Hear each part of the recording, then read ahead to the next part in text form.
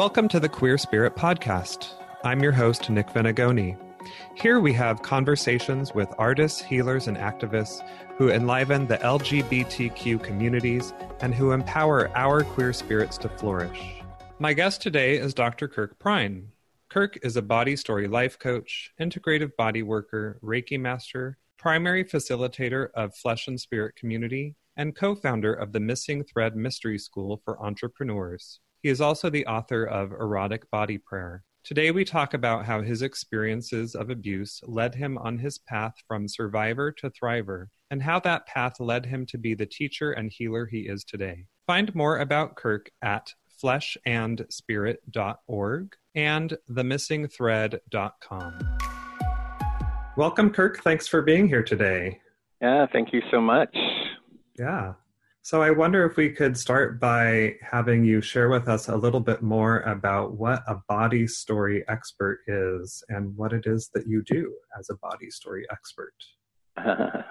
okay. So, yeah, body stories are actually a term that I created in the 80s to talk about how the accumulation of our experiences gets stored not just in our brains, but in the the cellular and the energetic mass of our body. So we create stories like agreements, and usually those are unconscious agreements with ourselves about a situation, especially things that, you know, are threatening or uncomfortable or somehow have peak moments to them. So, at any rate, body story work is simply helping people clear that, unpack that, so that they can actually be what we call it more fully in their purpose, more healing can happen. They can be more available to intimacy, to whatever their heart's desires are, those kinds of things. So it's pretty in depth work. It's very exciting, but it's all about engaging the body in the process of our healing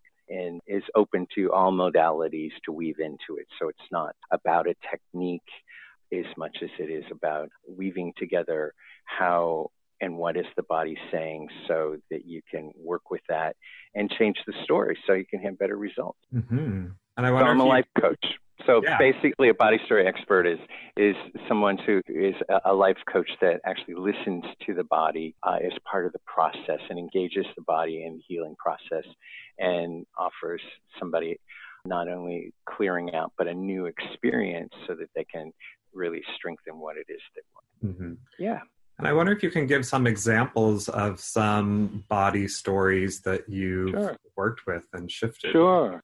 Oh, absolutely. Yeah, yeah. And especially in a, your audience, talking to a queer man some years ago. And, you know, he was very successful in his life and everything was working with exception to the fact that he didn't have any real intimacy and was looking for a partner, a life partner. And he came to me and while we were working, he actually met somebody who lived in another city. So he set up a flight to go see this man. And as soon as he did that, he got shingles. And if you've ever had shingles or anybody on the call ever had shingles, it's quite painful. And the last thing you want is to be touched. But actually, what he wanted more than anything was to be touched was to be touched deeply and to make that intimate connection with someone. So it's very curious as I'm working with him. He's coming in presenting, I want more intimacy in my life, meets somebody that he thinks he's going to go date, and then has shingles. Well, so we worked on that and went, hmm, you know, what's your body saying? Da da da da. Well, this happened three times to make the story um, a bit shorter, but he tried this three times and after the third time, he actually had a dream. And what came up for him in his dream was a remembering a time when he was a little boy.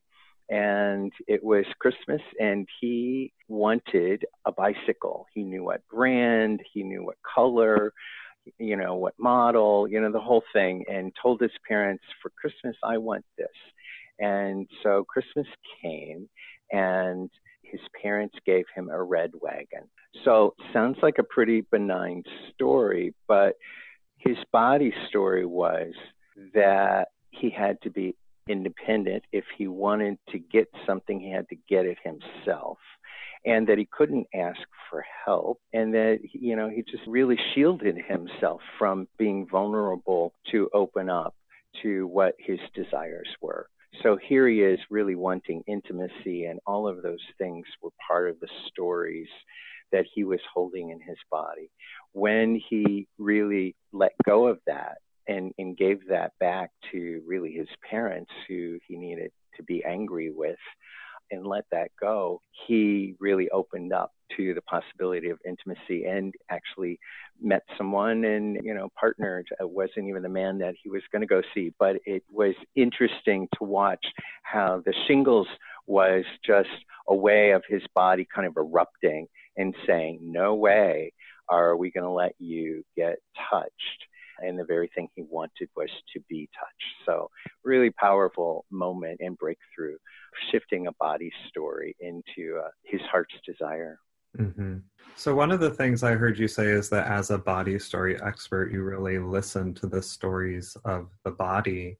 Yes. And I know that you've talked about being sexual abuse survivor and thriver. Yes and how that yeah. experience allowed you to develop the gifts of listening and seeing beyond what is apparent. And I wonder if you can talk more about that path and that experience of developing those gifts, sure. that trauma. Sure, sure, yeah. A bunch of things kind of wove together in my early childhood, and one was, you know, that my father sexually abused me uh, as a young boy for a brief period of time. But one of my kind of strategies of taking care of myself as a result of that was that I would go hide in closets. What a great metaphor, huh? Mm. And uh, I would literally go hide in closets and I would listen and so what I developed, and I believe everybody can develop this, it just happened that this was the gift out of out of the experience was I learned to listen to not only sound but kind of energetically.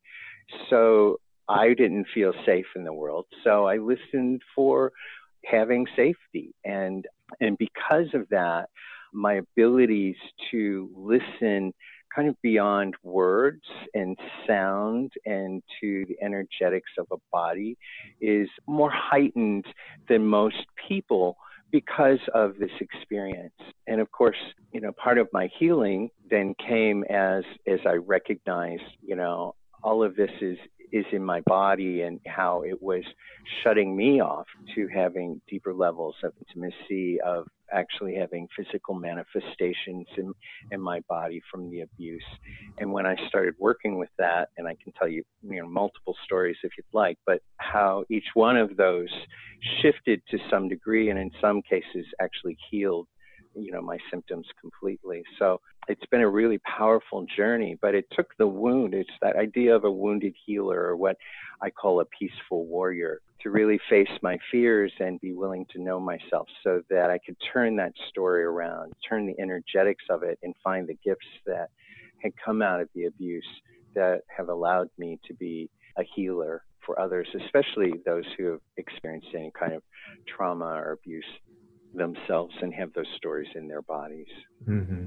As a therapist myself who often works with people with trauma and I work a little somatically, not as much as you do, but I know yeah. that people oftentimes have a hard time feeling into their body, let alone listening to their body. And I wonder if you could share with our listeners, like, what are the ways that might show up of them being able, beginning to start to listen to their own body? Hmm.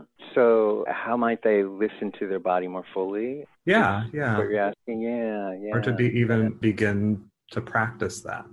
Yeah, well, I think it's as simple as what you just put out there, though, which is, oh, you know, what am I feeling in my body? What are the sensations in my body? And and checking in with that and just kind of making that part of your meditation or your homework assignment for yourself each day to do that. And of course, you know, you can use every method out the wazoo to do that, you know, whether it's just sitting and getting quiet or just kind of doing a body scan over yourself or and checking in for those feelings or breath work. You know all of those things are helpful tools but i think just asking the question what is it that i'm feeling? I'm feeling numb. Mm-hmm. ah you know okay so numbness is a good place to start You know, in the work that I do is with people, you know, I have people do some very simple things like check in with how they feel in their bodies and then stand across from somebody and have a lot of space in between them and start walking towards them. And notice if what they're feeling in their body changes as they get closer or as when they first touch maybe a hand over the heart or something, just to make that connection. Do they tighten up? Are they breathing differently? So, really checking in with heart rate and breath to just, you know, what's going on? And that's the inquiry, I think, that is the peaceful warriors. You're just willing to know yourself. Mm-hmm. And a lot of people aren't interested in that work right away until something really difficult comes into their path that you know kind of spurs them into that. Mm-hmm. Now I know that you've also been practicing massage for many many years, and I imagine mm-hmm. that through that practice of encountering so many different kinds of bodies that really helped yeah. you learn yeah. to tune into other people's bodies. Sure. And I wonder if you can share a little bit more about what you've learned about other people's bodies and the way that you relate to their bodies in this work and the coaching work? Sure. You know, I've been fortunate over my journey not only to do my own healing work, but to be around a lot of different kinds of healers. And once I actually saw a Peruvian healer, shaman, and he couldn't even speak English, so he had to translate with someone. But what he would do is he would put gauze uh, pads under his hands and place them over the body. And his idea was that we could actually become at the same vibration as the person. And so he would do kind of what are called extractions. And, you know, whether it was kind of hocus pocus or not, it got the point across as he did one of those experiences with me that the gauze pad got all dark and gunky mm-hmm. and when it was just a white gauze pad and it was like well how did that happen? And so it taught me you know i don't do that kind of psychic surgery stuff that a shaman does but i understand the frequency of one's body and personal space that stores all of that material so I'll tell you a story to kind of line that up. You know, a man came to see me one day, gay man, and he was an extremely large, 300, 400 pounds man, and got on my massage table and I started working with him. And immediately I could tell in touching his body that he was just clenching up. And then he was, he was actually getting more rigid instead of more relaxed. And I just paused and I said, you know, is something going on or what are you feeling? Can you tell me? And at that point, he just broke into tears and he yelled out, I hate my body. I hate my body. I hate my body. And, you know, I kind of teared up with him and just said, you know, can you allow me to continue just to touch you? And as I did that, he started to relax more and more and more. And at the end, I usually do what's called Reiki or some healing energy, and I'm doing some of that. And I noticed one of my ears just got all full and, and painful. And I said, What's going on with you? And he said, Well, you know, I've actually had an earache for like two weeks and no medication has done anything. And I said, Oh, well, let's just kind of imagine that you're running some healing energy. I mean, you already kind of discharged some stuff earlier in the session. So just run some energy into your ear. And he went, Oh my God, you know, the pain is gone. So it was one of those moments where I touched his whole body, but he had to discharge the painful emotional stuff that he was feeling so that he could actually receive. And so it's not so much about the practitioner. Certainly, the practitioner needs to be coming in with intention and clarity to be there to serve and facilitate healing. But it's about what are the shields or the stories or what's being trapped in the muscle tissue and in the energy of each body that will allow it to release and receive what it needs so that more healing, more freedom, more of the desires of their heart can happen. And all of that can take place on a non spoken level, but it, for me, really being able to name things helps you really own it So this man was able to name, I just got healed today, and I actually dropped some of my shame about my body. I saw him two weeks later in the Castro and ran into him. I said, Oh, how are you doing? He said, Oh, I'm so grateful. That was so wonderful. And, you know, my earache, it went away. It's just miraculous. So, you know, the results of touching somebody, nobody's going to be the same. Everybody's going to be different because everybody has different stories that we think of as stress and toxins and so forth on a biological level, but energetically are stored in the body that keep us from actually having really whatever it is our heart's desires are. Mm-hmm, mm-hmm. Great.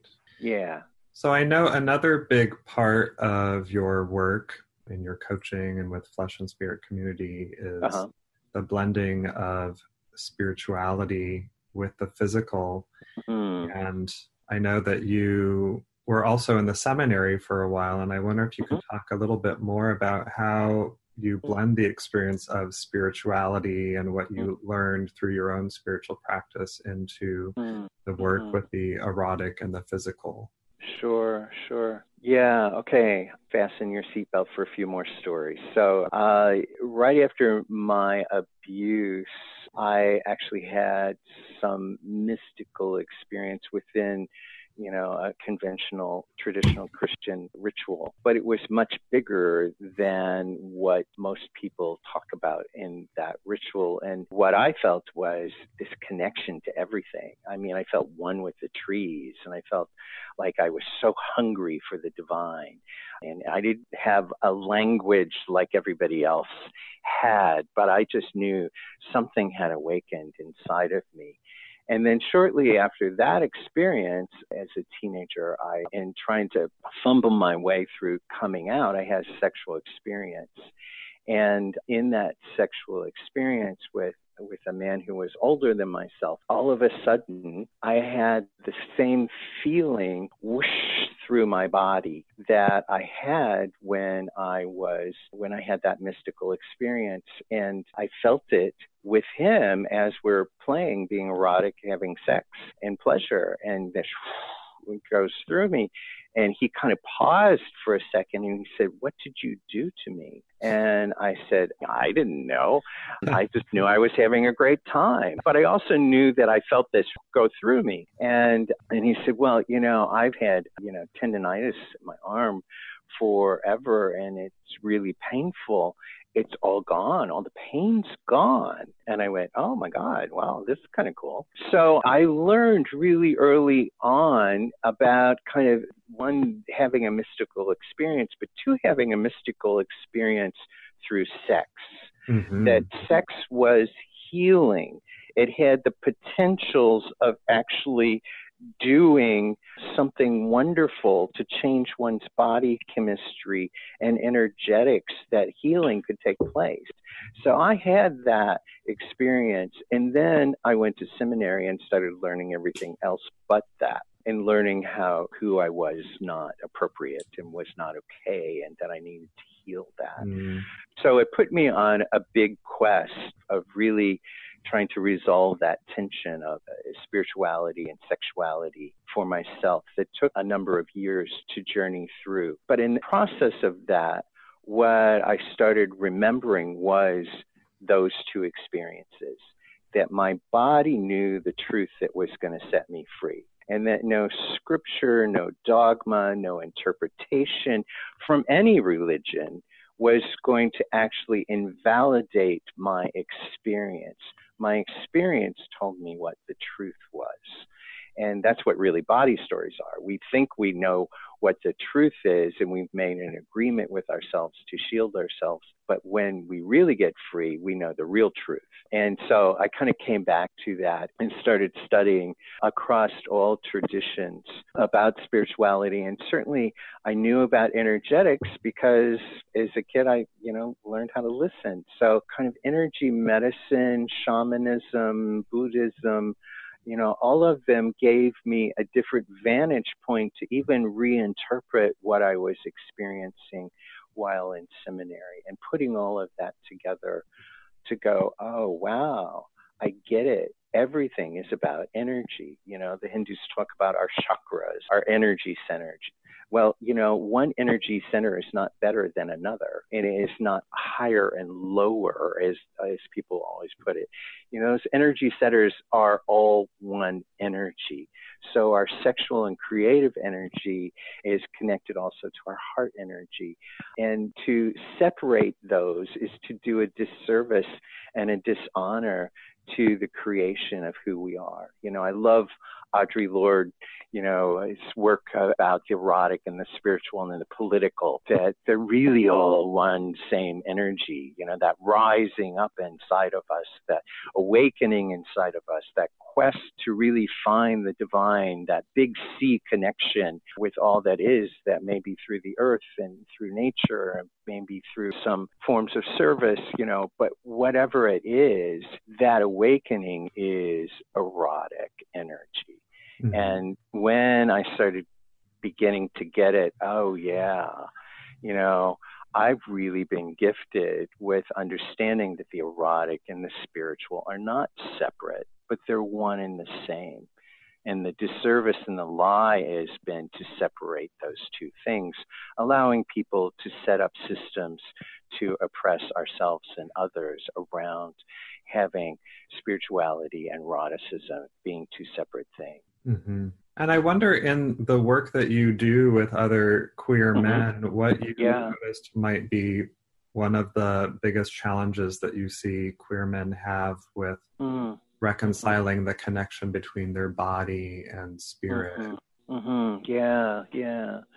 Well, certainly there's a lot to unpack. So, you know, I mean, between our own kind of family dysfunctions, which most of us had, and you know our cultural and religious dysfunctions, depending on which flavor we were a part of, and even where we grew up in what part of the country or the world. You know, uh, the environments that told us the messages that we internalized about you know, that we were wondrously made. And most of us heard anything but that.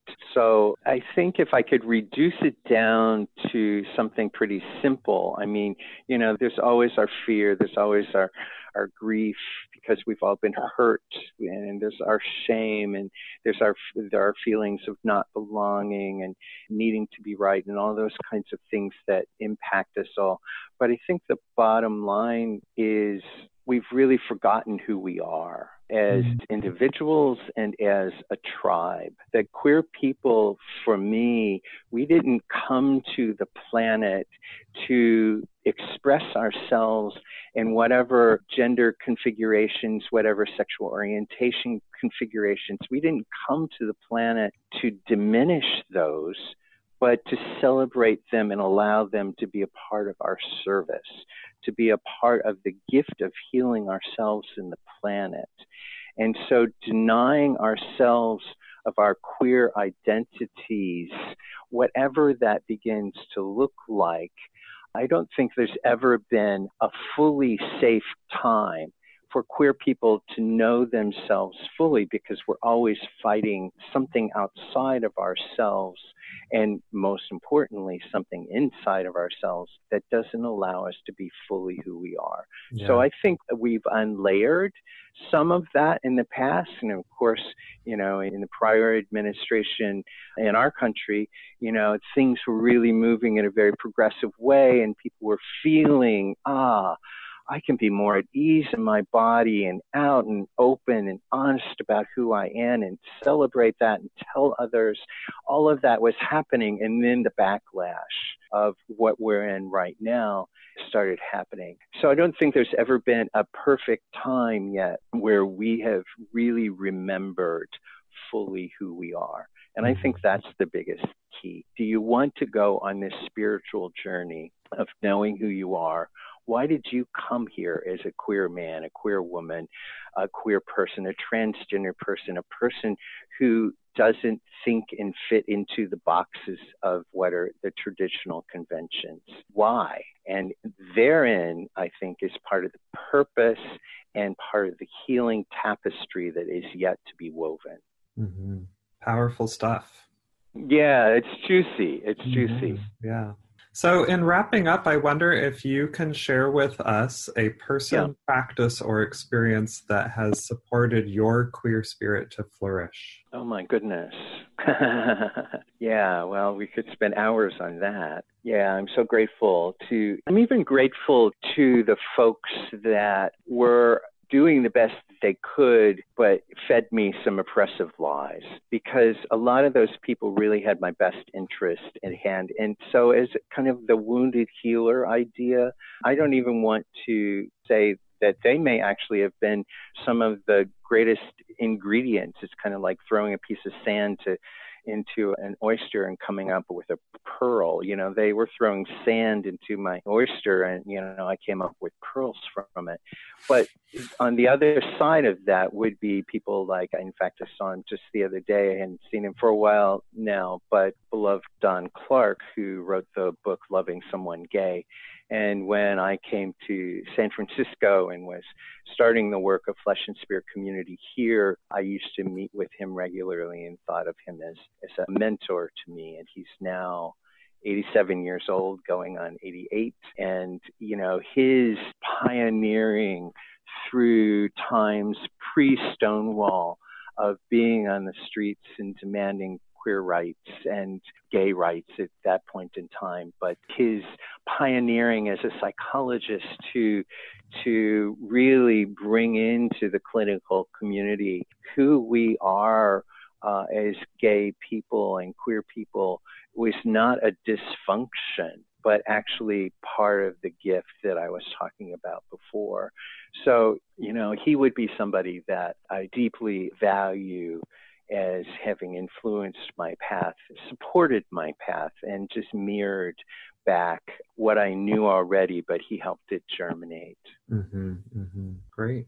And I know that you have an event coming up in September, Matters of the mm-hmm. Heart. I wonder if you want to share with us a little bit more about that and how people could get involved. Yeah.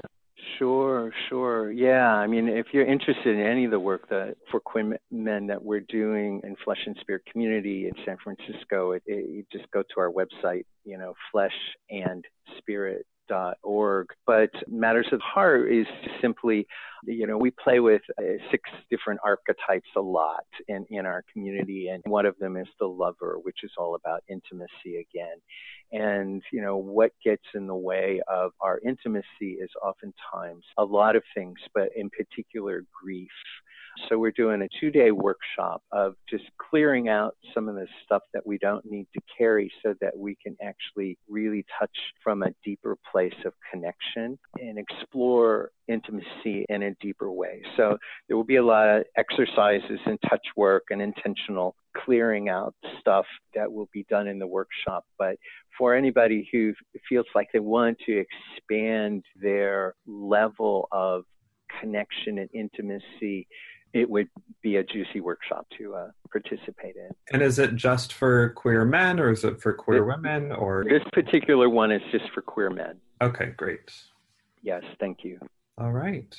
Well, thank you Kirk for being here today. It was a pleasure speaking with you and hearing more of your stories and I look forward to connecting more soon. Yeah, me too. Thank you so much for your work. You're certainly bringing a lot of goodness to the world, which is much needed. So I appreciate you, Nick. Thank you.